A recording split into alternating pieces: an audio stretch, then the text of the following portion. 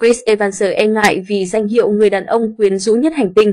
Nam tài từ điển trai Chris Evans lại lần nữa vượt qua nhiều đối thủ nặng ký để trở thành người đàn ông quyến rũ nhất. Năm 2022 trong cuộc bình chọn thường niên của tạp chí People, tham gia chương trình The Tonight Show starring Jimmy Fallon, Chris Evans cho biết, danh hiệu người đàn ông quyến rũ nhất năm 2022 là niềm tự hào nhưng cũng khiến anh áp lực. Anh thường bị bạn bè trêu chọc vì điều này. Họ khiến tôi bối rối, danh hiệu ấy gây cho tôi một chút khó khăn. Anh hiểu ý tôi chứ, giống như kiểu không ai trên phố thích danh hiệu của tôi.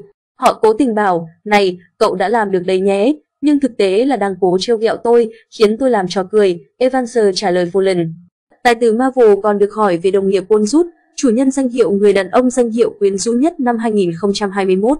Khi nhận danh hiệu từ người tiền nhiệm, Evanser đã gửi lời cảm ơn đến rút trên mạng xã hội. Anh đùa rằng bản thân gần như không thể tiếp bước rút với danh hiệu này, nhưng sẽ cố gắng. Mới đây, Evans quảng bá bộ phim mới Gotchard, đóng cùng nữ diễn viên Anna Zermas. Tác phẩm khởi chiếu từ ngày 21 tháng 4 đánh dấu lần thứ ba anh và người đẹp Cuba hợp tác.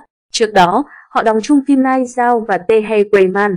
Trong bộ phim hành động hài pha lãng mạn này, Sadi, Jose Amas thủ vai và Cole Evanser đóng, bắt đầu cuộc phiêu lưu giải cứu thế giới sau một buổi hẹn hò.